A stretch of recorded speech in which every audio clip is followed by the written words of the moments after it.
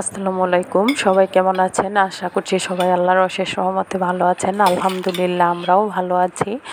আমি আজকে একটা সুন্দর এবং খুব, খুবই মজাদার ডেজার্ট তৈরি করছি। দুধ আর ডিম দিয়ে শুধু দুধ আর ডিম দিয়ে এই ডেজার্টটা তৈরি করা যায় এবং বাচ্চারা খুব, খুবই পছন্দ করছে। আমার ছেলে, মেয়ে দুইজনই খুব, খুবই খেতে পছন্দ করছে। পুডিংটা একটু দেরি হয়, কিন্তু করতে একটু ঝামেলা হয়, কিন্তু এই জিনিসটা করতে মোটেই ঝামেলা হয় না। কোনো রকমের ঝামেলা ছাড়াই কিন্তু আপনারা তৈরি করতে পারবেন। ফার্স্টে আমি নিয়ে নিয়েছি তিনটা ডিম। আমি আজকে তিনটা ডিমের এই ডেজার্টটা তৈরি করব। ডিম আর দুধ দিয়ে। এটার নাম কি বলতে পারব না, কিন্তু খেতে অসম্ভব টেস্ট সেই জন্যই ভাবলাম যে সবার সাথে শেয়ার করা যাক। আমি প্রথমে তিনটা ডিম নিয়ে ভালো করে ফেটিয়ে নিচ্ছি। আমি ডিমগুলা ফেটানো হলে আমি মানে আমার প্রসেসটা কেম, কীভাবে হয় আমি সবার সাথেই সেটা শেয়ার করতে চলে আসছি। এই যে আমি তিনটা ডিম নিয়ে তিনটা ডিমই সুন্দর করে চামচ দিয়ে ফেটিয়ে নিচ্ছি। তারপর দিয়ে দিচ্ছি হাফ কাপ চিনি দিব। এখানে মিষ্টিটা যে যেরকম পছন্দ করেন সেই রকম দেবেন। খুব বেশি কিন্তু মিষ্টি লাগবে না। এটা তিন মানে তিনটা ডিমে হাফ কাপ দিলেই মিষ্টিটা হয়ে যায়। আপনারাও এভাবে দিতে পারেন। পরে দিয়ে দিচ্ছি আমি এখানে ভ্যানিলা এসেন্স দিয়ে দেব। যে মানে ডিমের যে একটা কড়া গন্ধ আছে, এই গন্ধটা থাকবে না। বা আপনারা চাইলে এখানে এলাচ গুঁড়ো করে দিতে পারেন। যাদের কাছে ভ্যানিলা এসেন্সটা নেই তারাই এলাচ গুঁড়ো করে দিবেন। কোনো সমস্যা নেই। এইটা ফ্লেভারটা এক একজনের এক একটা ভালো লাগে। আমি তো অন্যান্য খাবারে এলাচের গুঁড়ো দিয়ে দিই। ভ্যানিলা এসেন্স দিই না, কিন্তু এখানে এটাই ব্যবহার করেছি। আর তারপর এখন আমি দুটো মগ নিয়ে নিয়েছি। দুটা আমি যে পরিমাণ ডিমটা দেব, এক, একদম সেই পরিমাণই দুধ দিতে হবে, সেই জন্য একটু মেপে নিচ্ছি। একটা কাপে ঢেলে দিলাম এক না একটা মগ নিয়েছি, একটু বড় সাইজের মগটা নিয়েছি। নিয়ে ডিমগুলা যে আমি ফেটিয়েছি, সেটা ঢেলে দিলাম। অন্য একটা কাপে আমি দুধটা দিয়ে দিচ্ছি। যেই পরিমাণ ডিম দিব, সেই পরিমাণে কিন্তু দুধ দিতে হবে। এর কম বেশি করা যাবে না।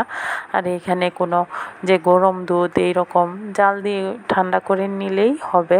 কোনো রকম গনাও করতে হবে না, কোনো কিছুই না, অন্য কিছুই লাগবে না। আর এখানে কিন্তু আমি একটু হালকা লবণও দিয়ে দিয়েছি। মিষ্টি খাবারে লবণটা দিলে ভালোই লাগে। আমি এখন ডিমগুলা ডেলে দিলাম আর দুধটা ডেলে একসাথে মিক্সড করে নিচ্ছি। মিশ্রণটা একসাথে নিয়ে নিব।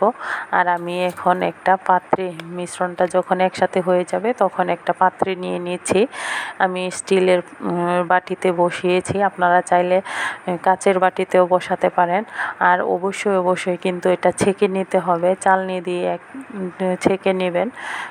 দুধ আর ডিমটা এখানে কিছু মানে যেগুলা ফেটানো হয় নাই, সেই ডিম আর দুধটা থেকে যাবে ডিমটা থেকে যাবে, সেটা ফেলে দিলেই হবে। অবশ্যই অবশ্যই মনে রাখবেন যে ডিম আর দুধের যে মিশ্রণটা আছে, এটা চেলে নিতে হবে। এখন আমি একটা পাতিল বসিয়ে দিয়েছি, পাতিলটার মাঝে একটা স্ট্যান্ড দিয়ে দেব। স্ট্যান্ড দিয়ে আমি বাটিটা রেখে বিশ মিনিটের মতন জাল করে নেব। এই যে আমি স্ট্যান্ডটা বসিয়ে দিয়েছি। এখন আস্তে আস্তে করে দুধ যেই বাটিতে রেখেছিলাম, সেই বাটিটা বসিয়ে দিলাম। বসিয়ে দিয়ে জালটা একটু হাই হিটে দিয়ে দেব যাতে পানিটা গরম হয়ে যায়। এই যে আমি জালটা হাই হিটে দিয়ে দিচ্ছি। আমার জালটা যখন পানিটা গরম হয়ে বলক আসা শুরু করবে, তখন আমি একদম মিডিয়াম আছে দিয়ে দেব। মিডিয়াম লোতে দিয়ে দেব আর দিয়ে আমি ২০ মিনিট এটাকে জাল করব। আর এই যে আমি ২০ মিনিট পর ফিরে এসেছি, আমার মাসাল্লাহ আমার মানে ডেজার্টটা হয়ে গেছে। আমি একটা কাঠি দিয়ে দেখে নিচ্ছি যে ডেজার্টটা বেজে যায় কিনা। যদি কাঠিতে লেগে যায় তাহলে কিন্তু বোঝা যাবে যে হয় নাই। ২০ মিনিট জাল দিলেই কিন্তু এই ডেজার্টটা হয়ে যায়। আর একদম ঠান্ডা হওয়ার পর এখন আমি আরেকটা পাত্রে ঢেলে নিচ্ছি। আর অবশ্যই এটা সুন্দর করে করে ঢাল ইয়া করতে হবে। আমি ওইটা দেখাতে পারছি না যে কীভাবে উপর করে ঢেলে নিলে এটা ছেড়ে দেয়। আলহামদুলিল্লাহ অনেক অনেক সফট এবং মজাদার সুস্বাদু একটা ডেজার্ট আর শুধু ডিম আর দুধ দিয়ে কিন্তু এটা পুডিংয়ের মতোই হয় কিন্তু পুডিং না খেতেও কিন্তু অসম্ভব ভালো লাগে। যদি আমার ভিডিওটা আপনাদের ভালো লাগে অবশ্যই অবশ্যই আমার চ্যানেলটা সাবস্ক্রাইব করবেন লাইক কমেন্ট করতে ভুলবেন না, আমার পেজটা ফলো করে দিবেন। আল্লাহ হাফেজ।